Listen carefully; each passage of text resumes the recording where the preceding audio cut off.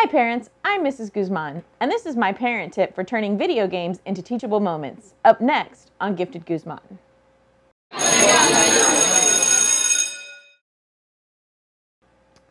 One of the problems I always hear from my students is that their parents think that they play video games for too long. And I can see how they can be using this controller way too long and way too often, and it might seem like it's a problem. So I wanted to talk to parents today about how the video games can actually be turned into teachable moments and what you can do to, to turn that into a teachable moment with your student. The first thing you have to do is kind of get to know the video games that they're playing. You can either talk to the student about the video game, they would love that. You can play it with them for a little while, they would really love that. Or you can secretly go to Google and just look up the storyline of their video game and find out what's going on in that particular video game. I talked to my students before making this video so that I could give you some tips on some of the current video games that they're playing. So the most current video game that they're playing is a video game called Fortnite. I have not played this video game myself, but I did go look up the storyline and I had some of them talk to me about it and I found out some of the upcoming things that are happening with Fortnite. So in Fortnite, apparently there's a meteor coming. It's it's a big area that they're making forts and they're trying to capture places and it's a third person shooter game.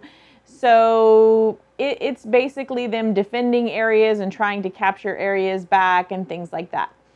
So one of the things i thought of since the meteors are coming in this game is a teachable moment would be to have them work on a science project.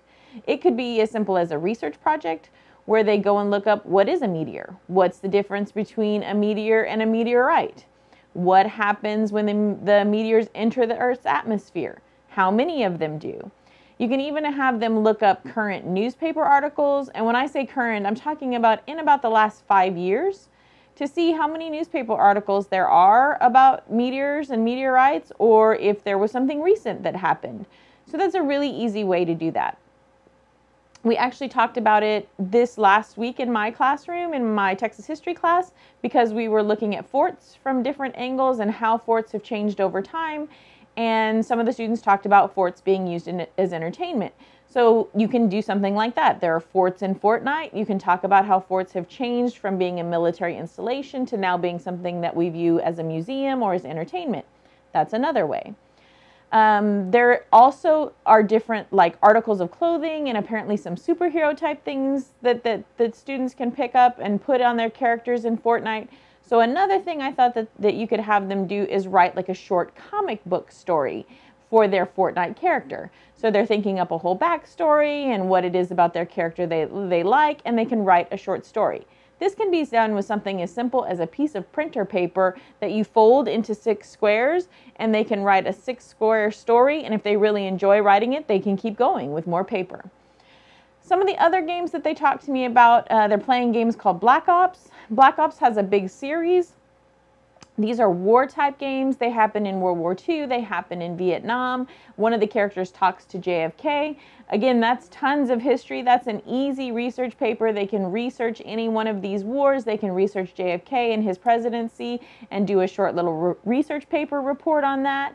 They can read a novel. Um, one of the novels I would recommend is The Book Thief. That is from World War II. That was also turned into a ma major motion picture, so that's something that then you could play the game, read the book, and then watch the movie and have that tie in together. They can draw maps. Uh, one of the great things that they can do for social studies is to draw a map so they can draw a map of this area where they're playing the game. The maps are often available on the game, so they could actually pause it and be looking at the map and drawing it and showing where is it north and south and east and west and some of the locations that are on the map and where are their buildings versus where is there just open land.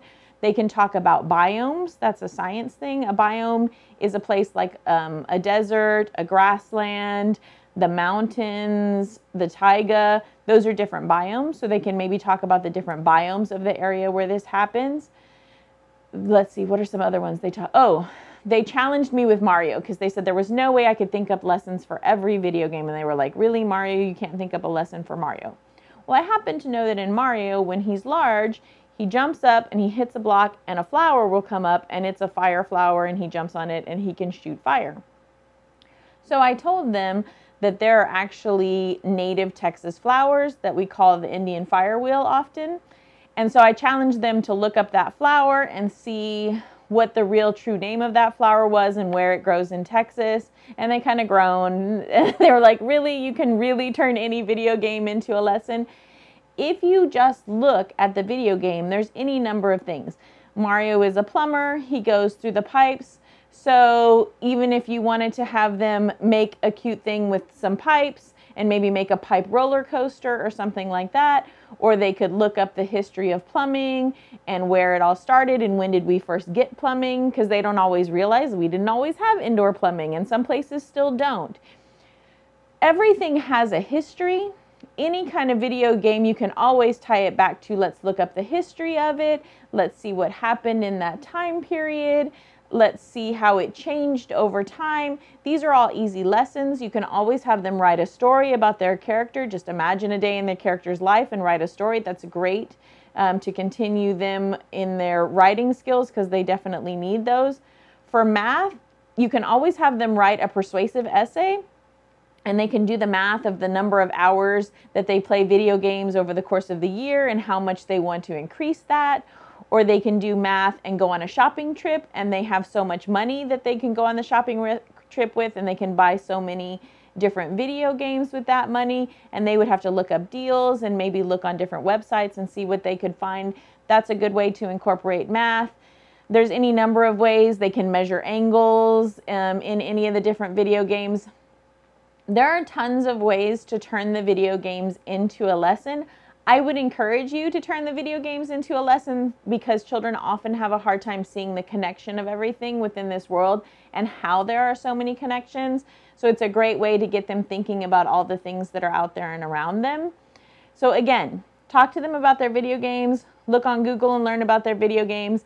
If you have any questions about some video games that you know that they're playing and you can't quite think of a lesson and you'd like some ideas, uh, hit me up in the comments below and I'll actually respond back to you with some lessons that I can come up with about the video games.